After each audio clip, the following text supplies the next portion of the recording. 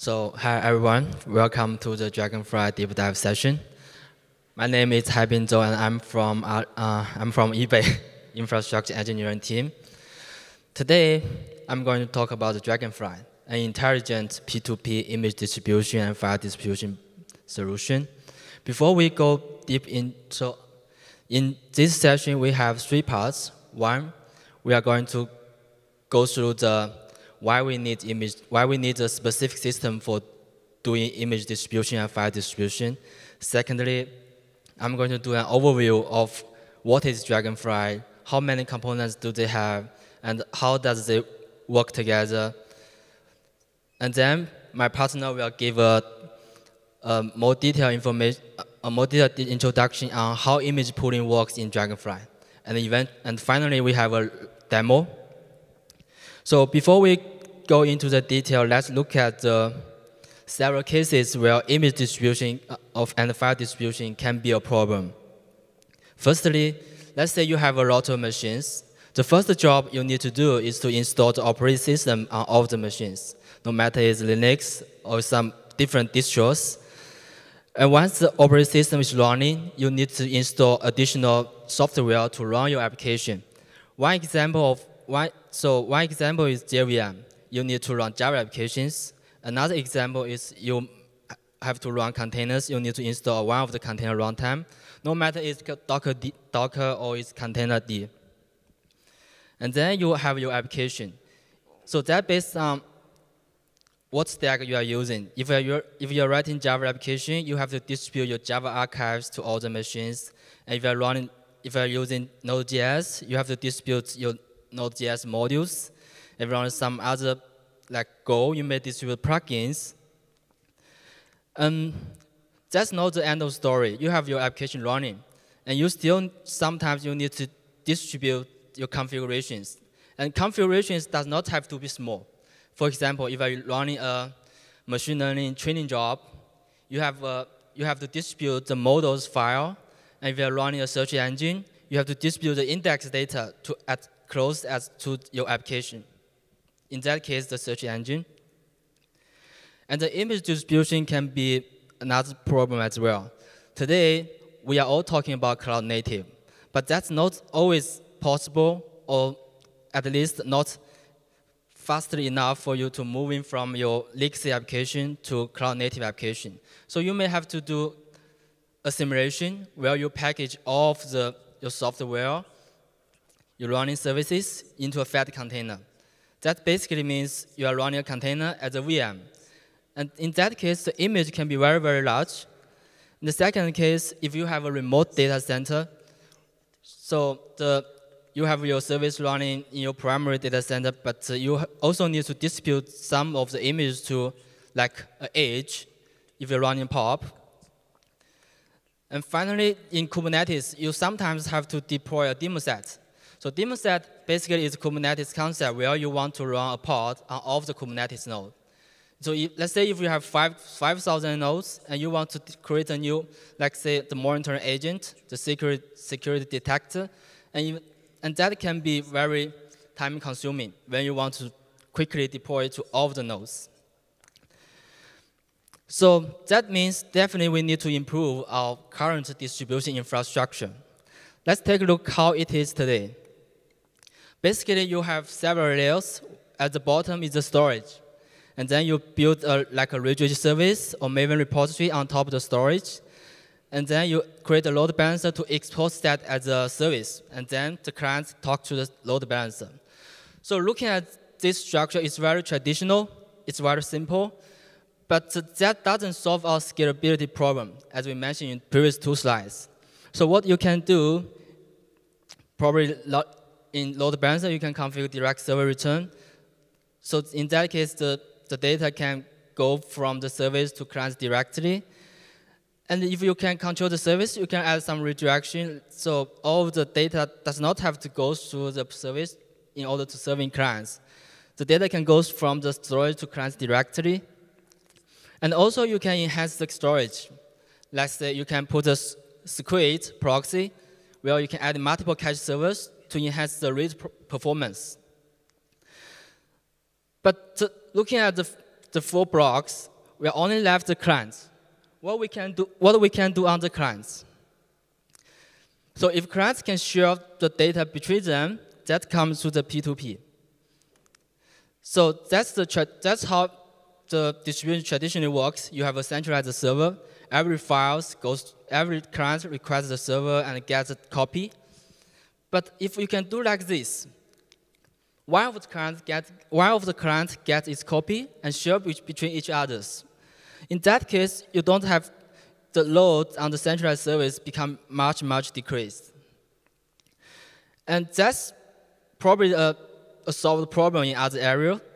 So like BitTorrent, it solves how you can distribute media, music, and recently the IPFS, where you run decentralized web, every every node is a client and is a server. And obviously, Dragonfly is one of them. It also runs the P2P um, approach. Let's take a look how Dragonfly works in the P2P case. So primary Dragonfly consists of two components. One is the supernode, another one is the client. Basically, that's the dfget. During initialization phase, every class needs to register as peer to supernode. And suddenly one of the nodes gets a request, say, I want to download the file. So it sends a request to the supernode, hey, I now I want to create a task to you. And basically what supernode does is create a record in its memory and gives you a task ID. In later requests, dfget can use this task ID to pull the status.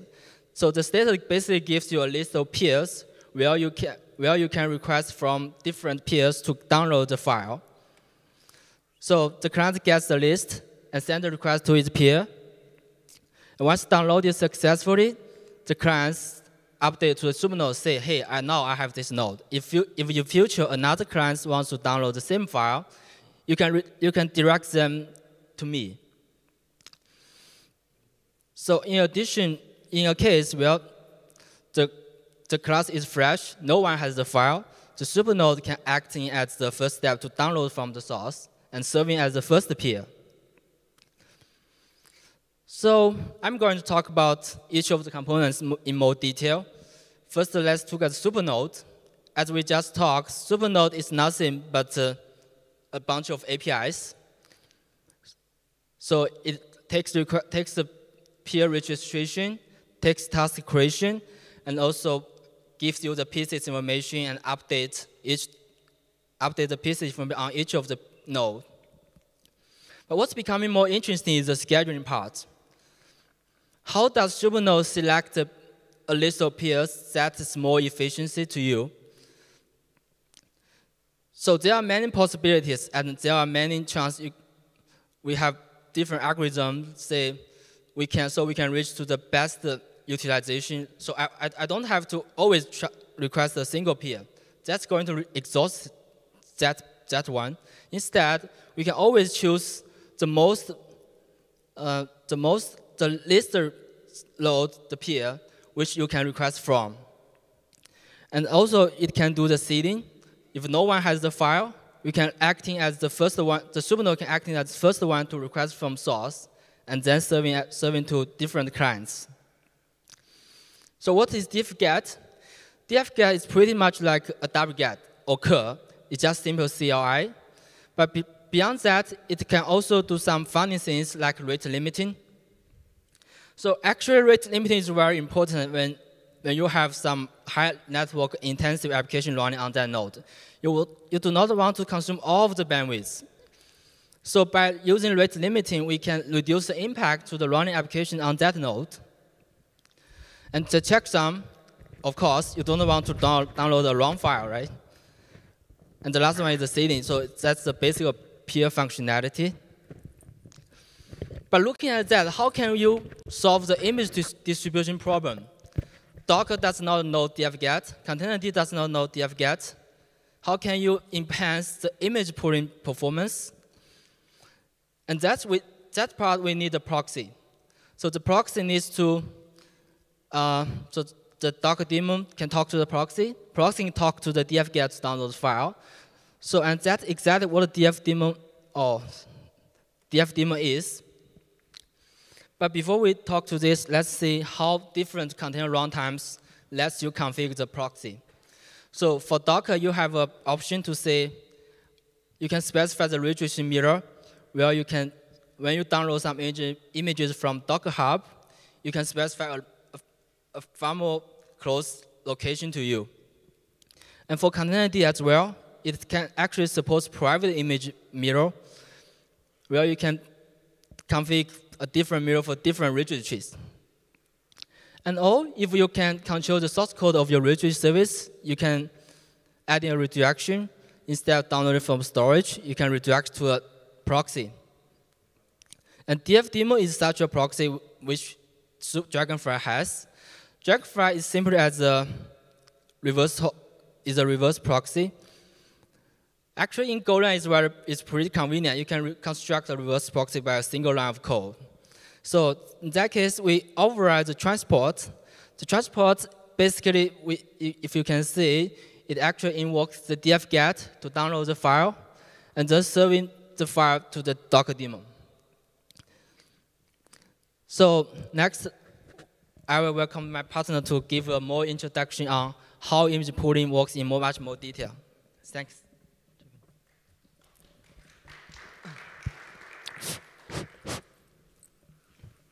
Uh, hello, uh, my name is, is Jin Zhang, comes from Alibaba Group, uh, one of the members of Dragonfly team.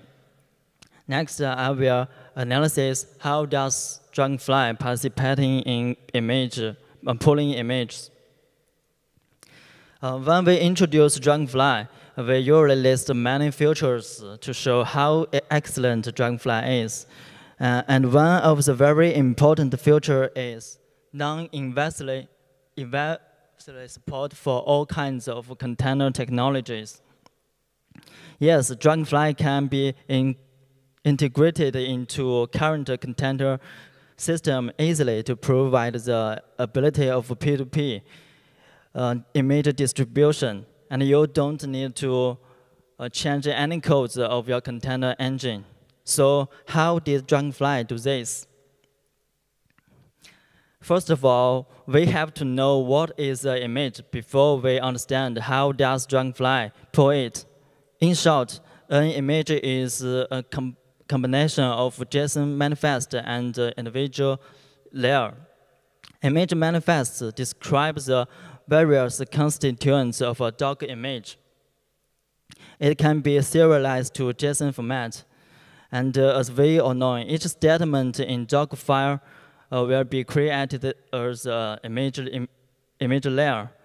Uh, and uh, these layers are stored in the blob portion of the registry kept by digest. And pulling a layer is carried out by a standard HTTP request. So the process of pulling an image centers around getting these two components, manifest and layers. So let's see how to get these two components. The first step is to get a manifest. Uh, the image manifest can be fetched with the following URL. the client sends request with this URL to registry to get the manifest. Uh, here is a is an example. Here is an example, uh, and uh, let's look take a look at the uh, manifest content there is a very important uh, field of, of it, the FS layers or layers in other manifests. Uh, it is a list of layer descriptors, including digest. When the manifest is in hand, the client must verify the signature to ensure the names and layers are valid. Once confirmed, the client will use the digest to download layers of image. Uh, pulling an image is carried out by a standard HTTP request.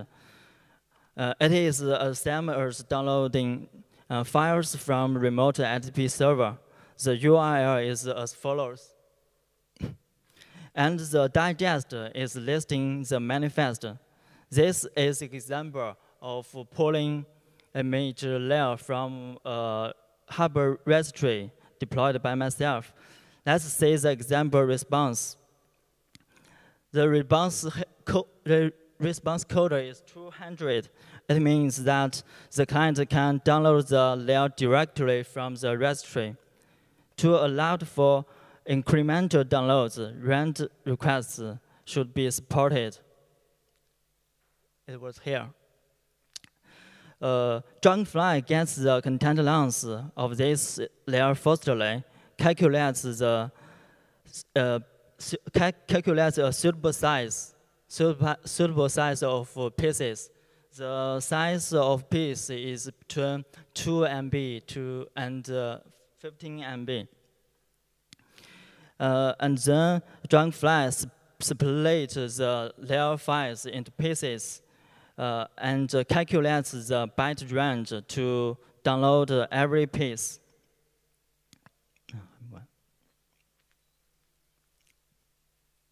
At last, Dragonfly downloads every piece content by sending range request to registry and cache them on local disk. Whenever a piece uh, is downloaded, it can be transferred among the P2P network without waiting for the whole image layer files to be downloaded. Also, the server uh, should support the cache control he header, ETag, or modification debts or others. Uh, Dragonfly will use this, these uh, cache control headers to check whether the layer file is expired. If it is expired, Dragonfly will download it again to ensure that the layer data cache in Dragonfly is consistent with the remote server. The second, the second example is pulling a layer from official re registry. It has two parts, which is much different from the uh, previous one. The first request to re registry gets a 307 re response code. It tells the client you should follow the redirect to request another server for pulling the layers. The another service is pointed out by the response header location. And uh, it is a HTTPS, request, uh, HTTPS server. And the second request is downloading the image layer file from the HTTPS server. From this example, we know that the blob portion of the stores that stores image layers can be another different endpoint from registry. And this is a third example of pulling a layer. It is much similar uh, with the previous one, but the only one difference here is that the location server is HTTP it is a HTTP server. So in summary, we learned the whole process of pulling an image. Firstly, we pull the manifest by uh, HTTP request. Secondly, we pull the layer files by several HTTP requests. So let's see how does Dragonfly pull it. By default, Dragonfly only downloads the individual layer files um, because the layer files are usually larger and pulling them are very time consuming, especially in large scale. Actually, pulling layer files is the same as downloading common files from remote file servers. Of course, we can also configure Dragonfly to download the manifest if we want to speed out in some scenarios. Here is three ways to make dockd to pull image layers using Dragonfly. Every way is very easy to achieve. Simply configure dockdaemon and restart it. Uh, the host showed the host showed here is the component of Dragonfly named dfdaemon we introduced above. First, first way uh, is registry mirrors. When you directly use dog pool image name. Dog pool image name. You can use you can use this uh, raster mirror, you can set df daemon as the raster mirror to pull images. And second way, HTTP proxy. When the blob portion of the registry is an HTTP server, or it uh, redirected to a HTTP server, you can use df daemon as the HTTP proxy to pull images, just like dog pull registry host slash image name. Uh, third way, uh, HTTPS proxy. It is very similar to the second way. Uh, when you when the blob portion is a HTTPS proxy, you can set df daemon as HTTPS proxy to pull them. Uh, next, uh, we take a look at the whole process of pulling an image by Dragonfly. From this picture, we can see there are three components between dockd and the registry. The components are supnode, uh, df-get, and df-daemon. df-daemon is a proxy between dockd and the registry. Firstly, dockd sends a request to registry in fact, all requests from dockd go through the node proxy. It is df daemon. Secondly, df daemon catches all the requests, filter out the pulling layer request, and use df get to get to pull to to pull layers. Thirdly, supnode gets the layer downloading task from df get and checks the local cache if it is not exist or expired, it will download the layer from remote registry and then cache it, cache it on its local disk. Then whenever a piece of the layer is downloaded, they will, uh, they will be transformed in the P2P network and the supernode will interact with the peers to reply them which has pieces now and which pieces the peer should download. After the peers get pieces meta info from supnode, they will download pieces from the other peers. Then pieces are transported among all peers. When all peers and all layers are downloaded, then the image, then the whole image pulling is finished. That's the whole process of pulling image by Dragonfly. Here is a demo. Here is several demo. One demo is show the deployment of Dragonfly, and then the usage of Dragonfly. Let's see.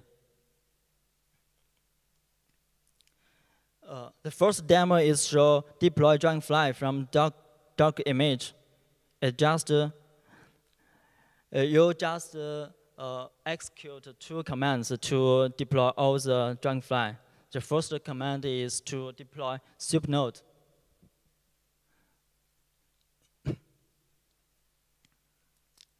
this is supnode. And the second command is to deploy dev client. It uh, contains df get and uh, dev, df daemon. And that's all. The, the second demo is uh, to deploy uh, Dragonfly from source if you want. It is also uh, very easy. Just get the code from GitHub and uh, make build.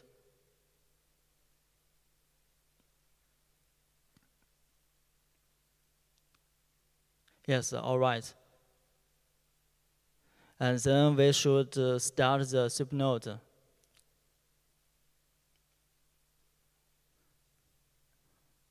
Okay, the supernode is start up, and then we should start the df daemon.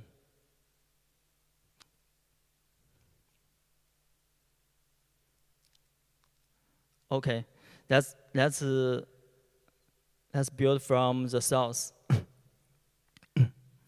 Let's see how to download a file by using Dragonfly. Uh, this, is a this is a beautiful picture. We want to download it uh, my, into my computer. First, we copy the URL.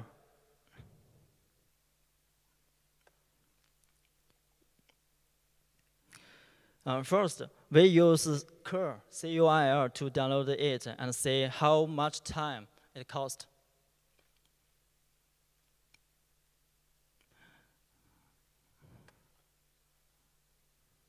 Because uh, uh, we just jumped. Okay. Okay, it uh, cost uh, 18 seconds. Let's see how df get to download it.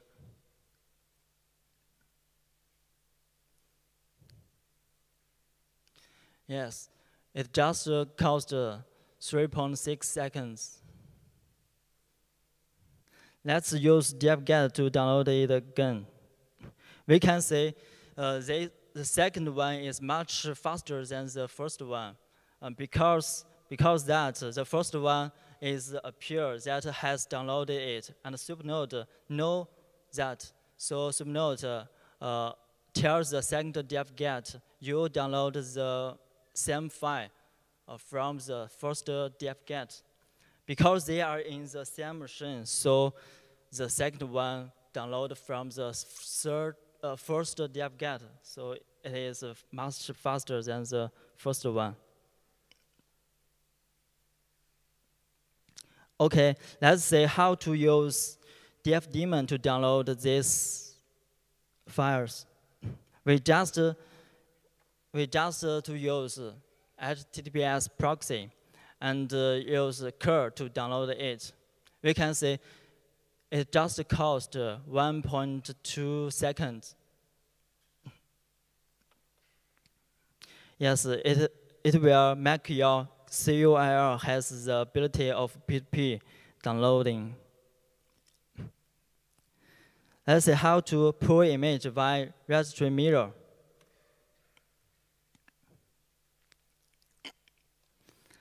Firstly, we we we pull the nginx from without Dragonfly. It is very slow. We jump to the result.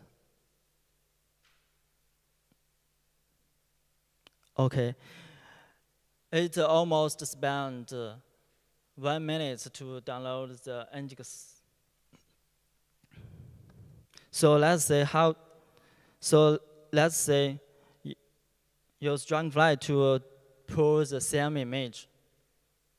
First, uh, we should configure the registry mirror, set the dfdaemon as the registry mirror, and start dfdaemon. And remove the image. Okay, let's put the same image.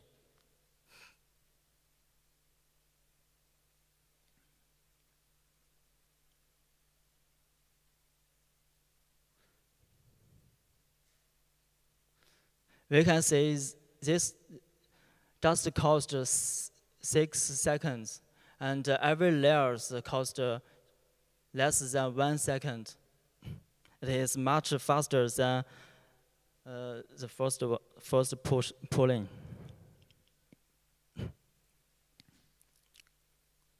Oh, let's say how to pull image via HTTP proxy and uh, HTTP pro HTTPS proxy. Uh, this is pulling the image without Dragonfly. It is very, very slow. And the image, the image is uh, 400, 441 MB size. Let's just uh, jump to the end. Okay. It's cost uh, six minutes. Let's use Dragonfly to pull the same image. we should configure the HTTP proxy and HTTPS proxy and restart it.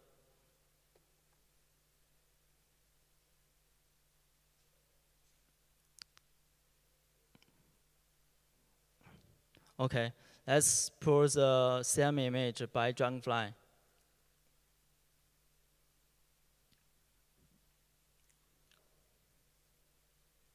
We can see it is much faster than the previous one. Uh, it is almost download, and now it is uh, extracting. And the whole cost is 23 seconds and every layer costs just two seconds. That's all the demos. Uh, this is our roadmap, and we have a lot of things to do in the future. So it is very welcomed if you have interest to hack on Dragonfly. That's all.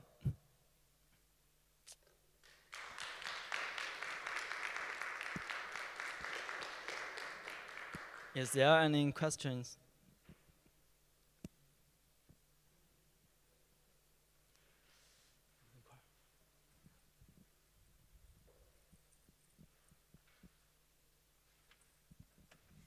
Thank you. Um, with this DF daemon, you have uh, mirrors from your supernodes every time, so it will have a lot of overhead or not. You got me? Yeah, the DF daemon.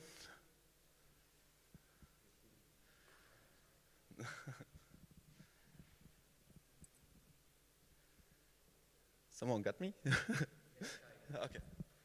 So you are asking the DF daemon, what's the question? The DF daemon is a mirror of your supernode, uh, so as, uh, as I understood it. Uh, it's a proxy, the DF daemon. Uh, uh, okay, then the DF get? Uh, so where's the data stored on the node? So you um, created um, yeah, a mirror on the local host or not? Or it's, is it only proxying up to um, to the supernode or to dfget? To dfget.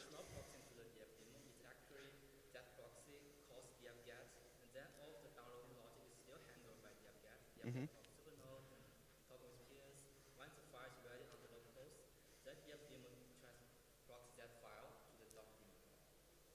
the Docker daemon. Yeah, okay, okay, okay. The data is stored where then actually? On every host then, where you have it installed, the daemon at the end. Yeah? Yeah, okay. Okay, okay.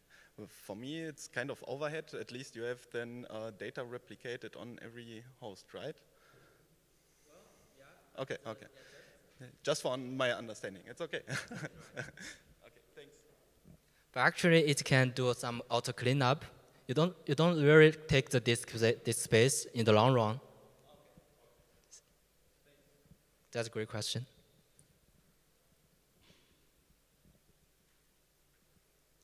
So that's all. Thank you.